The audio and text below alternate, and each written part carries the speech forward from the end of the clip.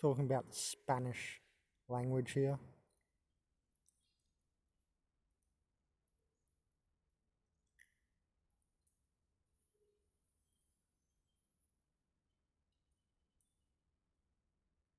Read the end. Your language is done for. Don't see, like, I don't see the serious robots even needing it to pass reality. Now, I'm not just being mean, I've already said this a long time ago. I said, uh, look at this asteroid danger, 100% certainty of impact. Anyway.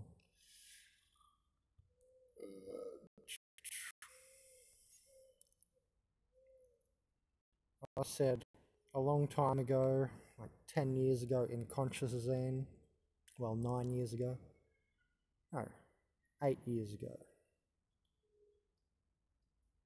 that uh, English is going to be the world language because it has all the hard, big scientific words. But look at this, also for this reason. Broma to Broma. Oh, okay. Because, you know, in English, look, we have two different words, but then look, it translates into the same word. And look, we do give different meaning to different words, and all of reality is, you know, language, code. So, language is always of ultimate importance. And the reason I always go on about this now, and probably, I guess, for the rest of my life, but I'm thinking I'll go on about it now more than when I'm older because, uh, you know, we have Newspeak, right? George Orwellian Newspeak. He said the language will basically be dumbed down. What do you have on the street language now? When you're on the street, is it intelligent language or is it all syncopated and dumbed down? Yeah? See what I'm saying? So because we have that around just so much, you know, the the Orwellian new speak predicted by George Orwell, an author from long ago. Um, because we have Newspeak around, which is basically the dumbing down of language, like ungood instead of that is not good or something. People just say ungood or you know, that that was what he talked about, like uh, in the book, things like of that nature but I related it to you know being alive now, not in a book, you know, 30 years ago or whatever. Talking about being alive now, we have Newspeak all over the street, and uh, you know even the Australian language.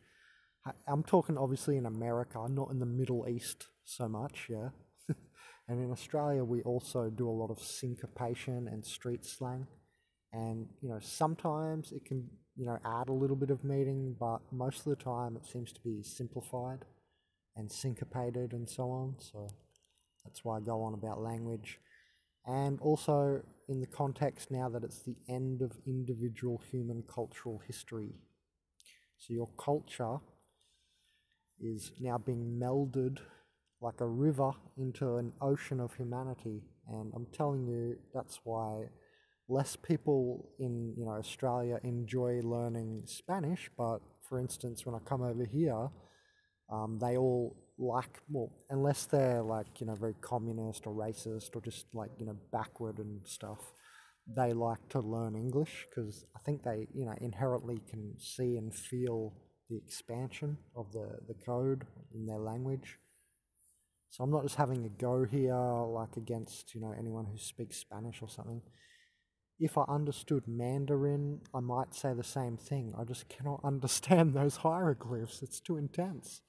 This is too crazy, you know. It's something. But I guess, look, see, how is Mandarin going to be the number one language? Only by, you know, that they have a bigger population. But I mean, you know, a world language for usability, yeah? for when we go off world and stuff we're probably not going to, you know, communicate in little symbols like that. I think we'll be speaking English more than uh, that because you think about it too, and I guess that is a good example, and I'm glad it came through me then. Mandarin is what the number second or third language, and Spanish second or third language, and English is number one spoken in the world, right? But it's glad I'm glad that uh, I, I brought that through the idea of Mandarin also, not just uh, Spanish, because because it has, you know, because Mandarin has so awkward and uh, necessary, uh, you know, a long it take you know it's going to take you a long time to learn that, right? Because it's so different. Now it's not necessarily that it's novel, right? But it's because uh, big hard scientific worlds words they're going to be more novel in some sense, introducing new novelty into the system, new meaning. This is all about meaning, yeah, translating meaning because a culture like the earth culture, right? You are from earth. Uh, culture cannot evolve faster than it can communicate. And I just don't see us, you know, communicating in a simple language like Broma to Broma, like with less meaning, or like Spanish, like or in Mandarin either, because these symbols would take a long time to learn, and it's more like uh, they're esoteric, you know, it's like a a long indoctrination process, really, to learn uh, something like that. I reckon. Anyway, and it's like artistic. So, I mean, it has its place, but uh, I'm trying to say something else in this video, right? I'm not just speaking just against the languages. I'm trying to say something about, um, you know, the, the evolution of our uh, species as humans, you know. Um, I think the English language has uh, reached the more complex state and and also simple in in a way as well right yeah there can be some hard double meanings like they like there there and there and and off and off you know and, and, stuff like that but that's pretty simple to learn like uh, you know i really think more easy than learning for instance like chinese symbol language I just don't see that being easier for everyone.